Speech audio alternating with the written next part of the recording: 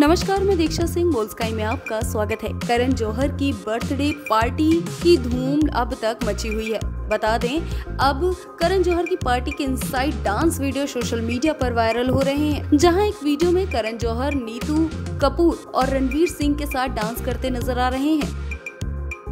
नीतू कपूर ने ये वीडियो अपने इंस्टाग्राम स्टोरी पर शेयर की है। वहीं दूसरे वीडियो में रणवीर सिंह धमाकेदार डांस करते दिख रहे हैं। आप भी देखिए, करण की बर्थडे पार्टी के अंदर की गई है जमकर मस्ती।